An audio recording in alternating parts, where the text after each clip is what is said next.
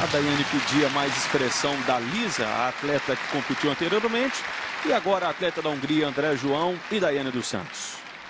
Olha, outro nível de série, né? Acroba... Na parte acrobática, ela já fez um Tsukahara, que é o duplo mortal com pirueta.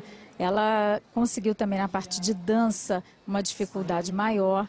Olha, você vê aí uma reversão duplo mortal para frente, é um exercício com grau de dificuldade bastante alto. Então, nas acrobacias, a gente já percebe que a nota de dificuldade dela vai ser maior.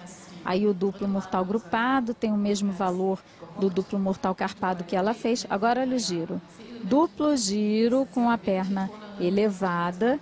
Então, na parte de dança, ela vai conseguir colocar elementos para aumentar o valor da série. Aí o duplo mortal carpado, ela faz os dois. E ali, olha, quase que ela sai do tablado. Faz ali um salto de dança, mas é mais para compor a série, não para colocar dificuldade. É, na primeira passada ela acabou saindo do solo. Acho que tivemos mais expressão na série da húngara, com certeza, do que a da ginasta anterior.